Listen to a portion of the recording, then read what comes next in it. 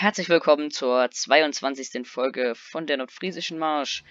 Ähm, der Presse ist jetzt gerade in der Pellethalle die Melasse ausgegangen, beziehungsweise es gibt keinen Nachschub mehr. Sie hat, glaube ich, noch was. Äh, mhm. Deshalb fahre ich hier mal ganz kurz zu unserem Lager. Alias Bäume. Alias Bäume, genau. Äh, mach vielleicht noch die Klappe auf. Und der Drescher muss entladen werden. Kümmerst du dich da drum oder soll ich eine Runde fahren? Äh, ich tu gerade noch ein paar Ballen platzieren. Ach so, ja gut. Damit die äh, äh, gleich weiterverarbeitet werden können. Jo, ich habe äh, Wenn die Melasse nachgefüllt ist. Die Ballengabe gekauft. Und wir haben schon gesehen, die Strohpellet. Eine Dings. Eine Palette Strohpellets. 3000.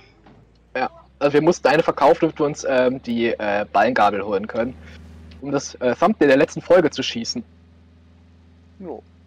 Vielleicht ist es dem einen oder anderen ja aufgefallen, dass da der Farmlift mit äh, der äh, Ballengabel drauf war. Da steht er auch gleich. Und ich vergleiche, zerkratzen wir erstmal den Lack mit der Ballengabel. Äh, Tobi, andersrum. Also Melasse steht ja zwar kein mehr, aber wir haben noch Melasse drin. Wasser fehlt. Ja, Wasser steht ja noch da. Ja. Da sollten ja noch zwei Paletten rumstehen. Naja. Da bräuchten wir auch mal wieder Wasser. Ah, da haben wir nichts mehr auf dem Hof. Naja, an Paletten nicht, nein.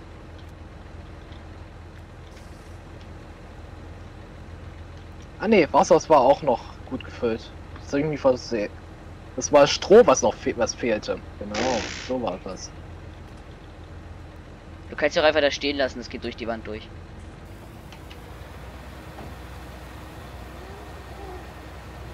Ja, danke für die Palette, äh, Melasse. Gern geschehen. Kann ich eigentlich mit dem... Ich meine, der hat ja Offroad, also eigentlich könnte ich auch auf einem Feld fahren. Ich denke.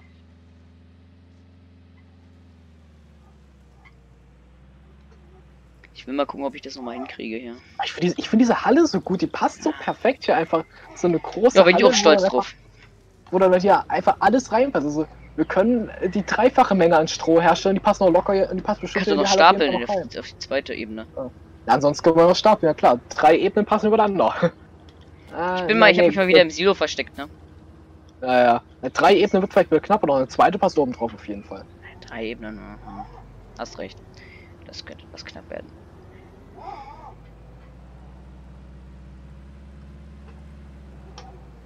So, ich bin gespannt, ob das klappt.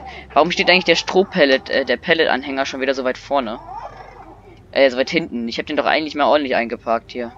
Ja, du hast den ja dann aber ausgeparkt, um den Raps zu holen und dann sollte ich den wieder einparken. Dann habe ich ihn da eingeparkt, weil ich es nicht be besser hinbekommen habe, hm. als da einzuparken. Ja gut. Oh oh, ich glaube, das wird nicht gut enden. Wow, pff. Erst bin ich die Mülltonne gefahren. Ja, okay, ich koppel das Ding ab. Ich wollte mit dem Anhänger hier den Drescher abtanken. Und dem. Du weißt schon. Mhm.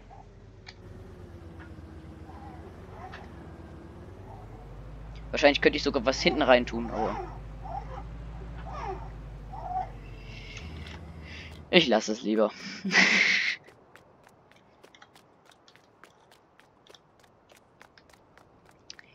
aber der Drescher steht jetzt natürlich eine Weile rum, das ist natürlich nicht so gut. Äh, übrigens sind schon zwei neue Paletten Strohpellets da. Jo, ich würde die erstmal einsammeln. Ähm, äh, einsammeln. Ein ja, ein Lager. Ich würde die in die zweite Hälfte der Halle reintun. Der Lagerhalle. Oder, nee, es sind zwei unterschiedliche Also in die zweite Halle würde ich die reintun. So eine ja. Halle für Heupellets und eine für Strohpellets. Äh, nee, das sind eh klar, äh, klar spezifiziert. Also der eine ist nur für Heu, der andere nur für Stroh. Schon muss so. beim Kaufen beachten. Achso, dann äh, ist das sowieso fest geregelt. Dass hier nur die Strohpellets reinpassen. Ja, das ist ja über eine Produktion gemacht und in der Produktion kann es ja auch nur nicht beides reintun. Ja, ja. verschiedene Sachen ausgeben, ist glaube ich hier das Problem.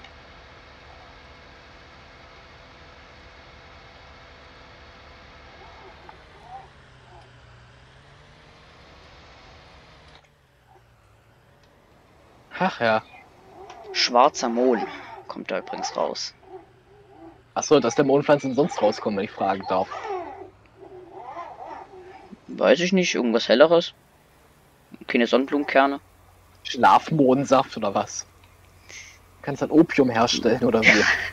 Leute, das ist, ähm, die, Finger die, weg. die sieht eigentlich voll schön aus. Finger weg von Drogen, genau. Ja, Finger weg von Drogen. Die sehen voll schön Wenn aus dann- hier. Wenn, dann greift nur zu Mond. richtigem Mond. Und nicht zu Opiaten, ne? Oder anderen Drogen.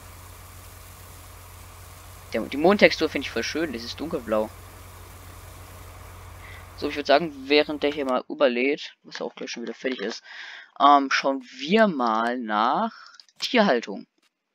Der große Hühnerstall, der sich eigentlich nur lohnt, würde 40.000 kosten. Hm. Und die kleine Pferdestall, der glaube ich erstmal reicht für acht Pferde, reicht eigentlich vollkommen aus. Man kann die mit Heupellets füttern. Äh, nicht füttern, aber Okay. man kann da Heupellets reintun. Wie geil ist das denn? Das wusste ich gar nicht. Man kann, man, also man kann die mit Heupellets einstreuen. Ja, Ja, okay. das sind wir nicht, nicht einstreuen, sondern füttern wahrscheinlich. Nee, nee, schon einstreuen. Die Die, Pferde- die Pferdestall kann, nee, Pferdestall werden nicht eingestreut. Äh, Da gibt's ja gar kein Haus. Nein. Ich glaube nicht. Also kann, kann doch. sein, klar. Aber ähm, doch, das brauchen- wird brauchen- auf jeden Fall Hör, eingestreut. hör mal zu.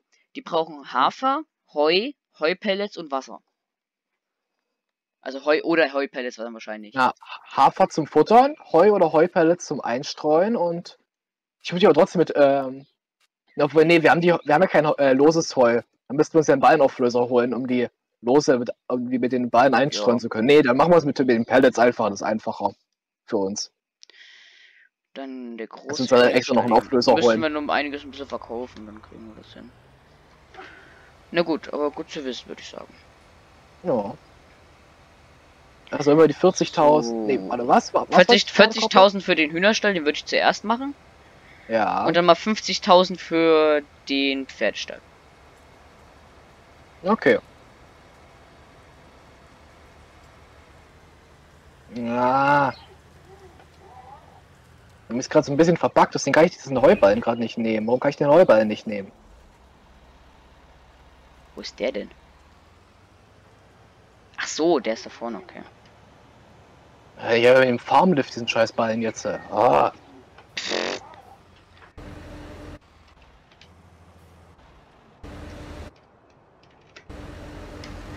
Gott, ist das laut hier, ey.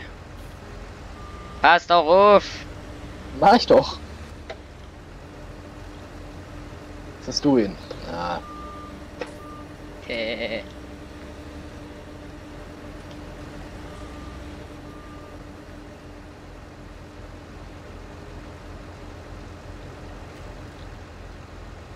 Wir hatten das schon wieder ausgeschaltet hier. Ich hab's äh, kurzzeitig ausgeschaltet, damit ich die Ballen ordentlich drauflegen kann. Weil Ich krieg das besser hin, wenn es ausgeschaltet ist. Ja, die Strohpellets können wir eigentlich direkt verkaufen, oder? Ich Können wenn wir auch machen. Ich hab, gut ich hab schon zwei, ich hab schon zwei eingelagert. Die ihr wieder auslagern.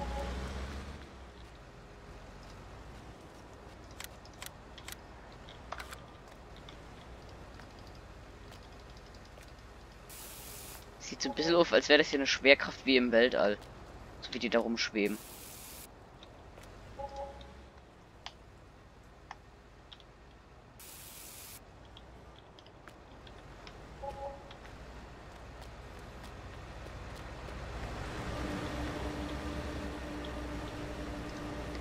Fährst du hier mit dem Farmlift rum? Das dauert ja ewig. Ich wollte mit meinem Farmlift arbeiten, muss mich hier eingewöhnen. Ah.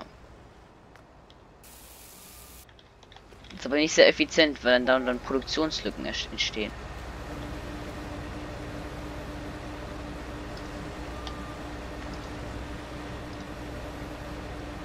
Genau. Weißt du, woran ich gerade irgendwie denke? Ich weiß nicht, wie ich darauf komme, aber irgendwie denk, muss ich gerade an mein, äh, an, beziehungsweise an unser Sims, die Sims 4 Projekt denken. So. Produzieren Weiß doch ich nicht so viel. Ja, trotzdem sind es vier nie. Wie immer, wenn wir irgendein Projekt, eine Folge oder sonst was erwähnen. Ja, natürlich. Machen wir natürlich uns immer die Arbeit hier, das ist immer alles schön Damit ihr immer alles schön wenn auf dem oben auf I habt.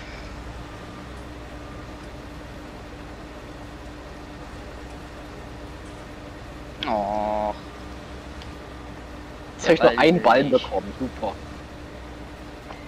Naja, eigentlich ist es ja nur für einen Ballen gedacht, oder? Nö. Für zwei, drei schon. Stimmt. Sicher? Ja.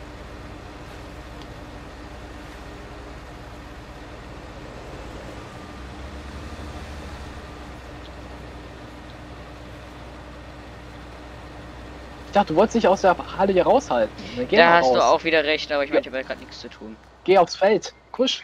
ich mach hier weiter. Das ist auch ganz gut, dass wir ein paar äh, Heupellets eingelagert haben. Ne?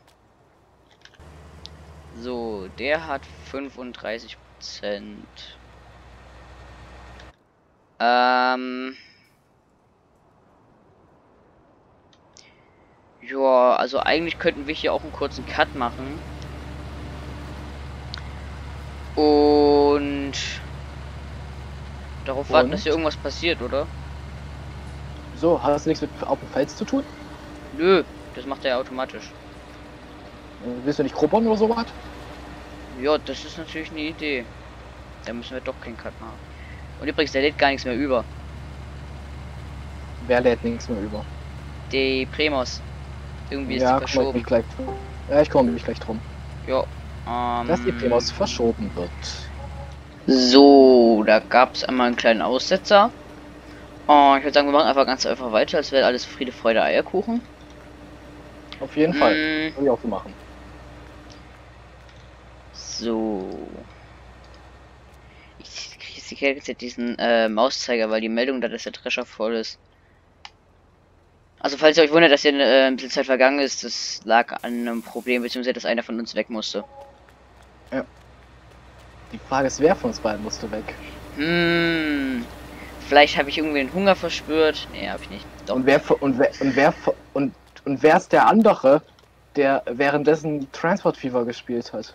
Hm, könnt ihr euch gerne mal anschauen, das Projekt. Ne? Wir werden es wohl nie herausfinden. Warum hat der 95% steht schon? Frag mich nicht. Wo ist der denn?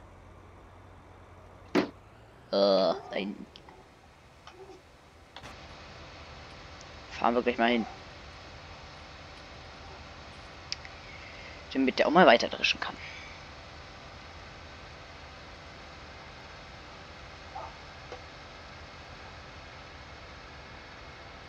Ich versuche jetzt mal sechs Ballen gleichzeitig mitzunehmen, Tobi. Boah.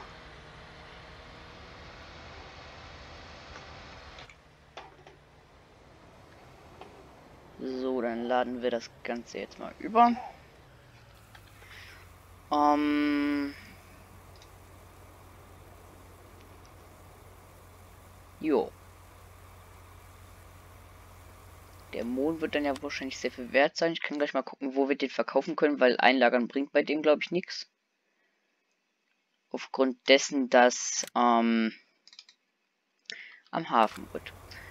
Aufgrund dessen, aufgrund dessen, dass wir den nicht verwenden können für Tiere oder so.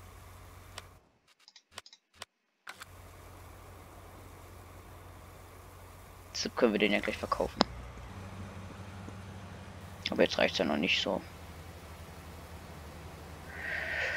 Daher würde ich sagen, lassen wir das erstmal nochmal hier am Feld dran stehen. Und schauen uns mal nach einem freien Trecker um. Ja, der ist frei. Und machen Scheibenwischer aus.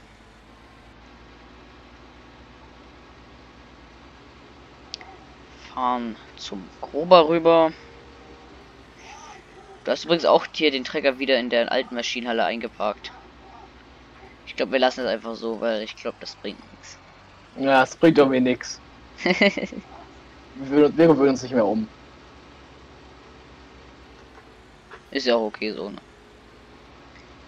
Dann fahren wir hier mal fix zum Feld rüber. Ja, ich hab's geschafft, ähm, die äh, Ballen so Hoppala. Rüber zu bekommen. Ich habe oh, es Gott, geschafft. Oh. So. Ah, ich, hängt hier so eine Strohballen fest und er will nicht eingezogen werden.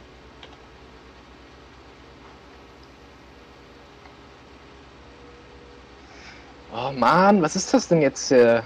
Mann. Hör dich mal auf zu beschweren. Auf diesem Band hängt jetzt ein Strohballen fest, den kann ich nicht runternehmen, aber der wird doch nicht eingezogen, weil der irgendwie übelst scheiße liegt. Weißt du, wie man das jetzt, macht? Jetzt kann ich ihn nehmen. Jetzt kann ich ihn nehmen. Weißt du, wie man so ein Problem behebt? Wie denn? Mit dem anderen Strohballen. Weil mit anderen Strohballen kannst du den. Kannst du. Selbst wenn die vom Band fixiert sind, kannst du die noch bewegen. Naja, ich kann jetzt bewegen. Raus ist der Pelletteil, du wolltest was anderes machen. Ja, ich bin nur kurz vorbeigekommen wegen dem Problem. Ich hab's doch schon gelöst, ich hab's doch gesagt, jetzt geht er vom Band runter. Ich hab's doch gelöst alles. Ich gehe ja schon, ich gehe ja schon. Ich nehme nur mal ganz kurz die 3000 hier mit, ne? Naja, mach das. Stört dich ja bestimmt nicht. Das war auch eine coole Taktik. Jetzt so sechs Ballen immer rüberfahren und einfach äh, runternehmen. So einen Aufwand werdet ihr bei mir bestimmt nicht sehen. Ja. Die Fahrt muss sich doch lohnen, Tobi. Sprit nee, nee so in, äh, die einzeln zu fahren, meine ich. Ich würde einfach den Autoanhänger nehmen und ähm, Hä? Bringt doch nicht so ein bisschen Realismus sollte schon dabei sein. Man kann ja nicht alles nur aus dem Stegreif nehmen. Von Taktiken. Also so, äh, ich mach mal so und so. Das Ganze wird schon klappen.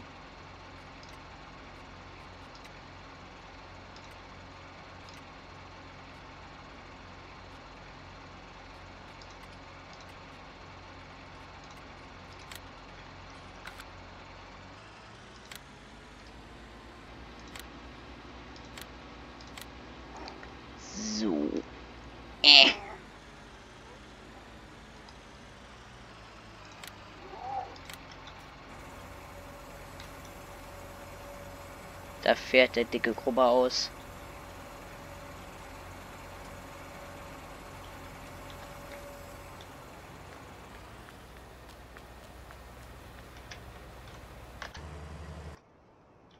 So, wie voll ist denn der Drescher? Äh, irgendwie lohnt sich das nicht ganz so. Also es kommt nicht viel raus, ne?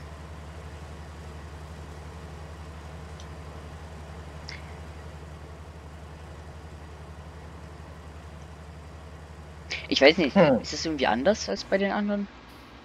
Bin mir da jetzt gar nicht so sicher.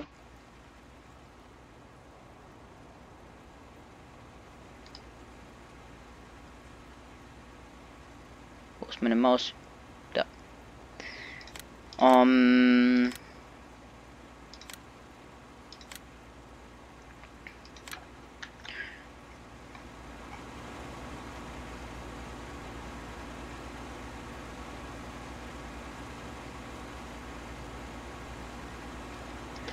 Jetzt wisst ihr auch, wo das Thumbnail herkommt.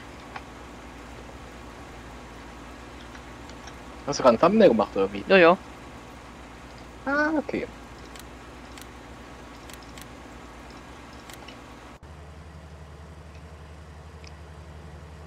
Der fährt jetzt hier zwei Bahnen. Achso, um das auszugleichen, klar.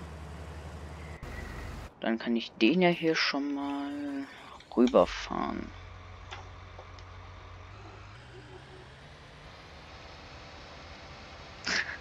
So witzig, wie der Johnny halt immer so hochschaltet hier die Gänge. Du, du, du, du. Du, du, du, du, du. Klingt wie so eine Trax-Lokomotive, so. Dö, dö, dö, dö. Machen diese Trax-Lokomotiven ja. Wenn ihr Lokomotiven das? sehen wollt, äh, hatte ich vorhin schon mal erwähnt, Transport Fever 2, könnt ihr gerne reinschauen. Auch, Wie oft äh, willst du das noch verlinken jetzt? Auch wenn es äh, keine Trax-Lokomotiven in diesem Projekt gibt, weil die in dem Bezirk, den ich realis realitätsnah nachbaue, keine Trax-Lokomotiven gibt. Was sind denn das? Erklär mal kurz. Äh, das ist, na, das ist eine äh, Trax-Lokomotive, das ist eine, ähm, ähm, also die Hersteller benennen ja ihre Lokomotiven und äh, Triebwagen anders als ähm, die Deutsche Bahn, die gibt ja die äh, Baureihen raus. Und, ähm, oh, ich weiß gar nicht, wer ist denn nochmal der Hersteller von den Trax-Lokomotiven? Also Trax-Lokomotiven, das ist eine ähm, Reihe von Lokomotiven. Da gibt es Diesellokomotiven und äh, unterschiedliche Elektrolokomotiven für Güter- und Personenverkehr. Äh, ich bin gerade nicht sicher, entweder Siemens oder Bombardier. Irgendeiner von den beiden ist auf jeden Fall Hersteller. Und ähm, ja. Und die, die haben halt diesen ähm, speziellen Dö, Dö, Dö, Dö Sound. Also auf der Dresdner S1 fahren die ab und zu mal, aber auf die S1 fahre ich genauso wie auf alle anderen Dresdner S-Bahnen eine 143 und mit äh, Doppelstockwagen. Du, was hältst du, wenn ich eine, eine Wagenladung Hafer verkaufe? Wir haben 120.000 ja. Liter. Wagenladung Hafer, ja, kannst du verticken. Das ist nicht das Problem. Ähm.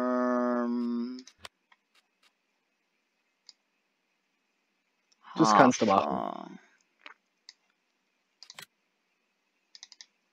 Beim Bahnhof. Können wir gleich mal gucken, wo der ist.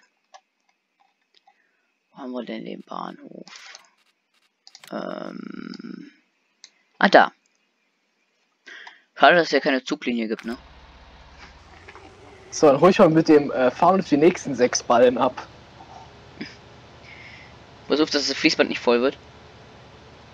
Naja, ich, ich achte schon drauf. Ich habe die gesamte Fabrik im Auge.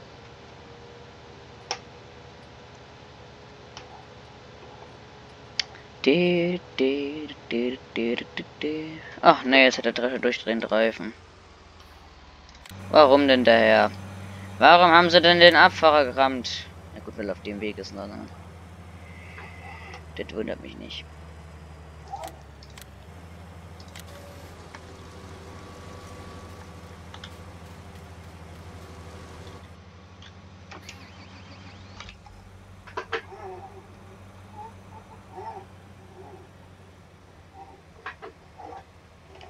Bruder, lass meinen Trecker in Ruhe. Wow. Warum hält denn der nicht an? Wow. Oh Gott, oh Gott, oh Gott, oh Gott. Oh Gott, oh Gott, oh Gott, oh Gott, oh Gott, oh Gott.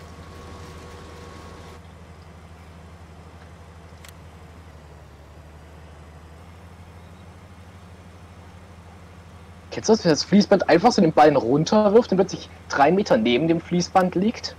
Nee, normalerweise äh, verkrankte der bei mir immer nur. Und irgendwann, wenn es sich zu lang verkantet hat, schmeißt du den Ball einfach weg. Nö, also das habe ich nicht. Und dann liegt er drei Meter vom Fließband entfernt. Ach ja.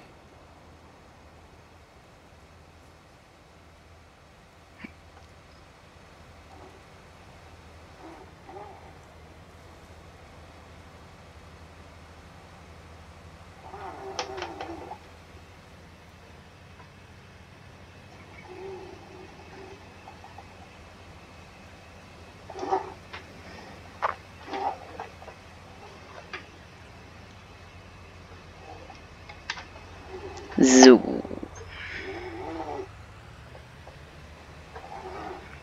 Fahren wir hier mal den Drescher ran und tanken den mal ab.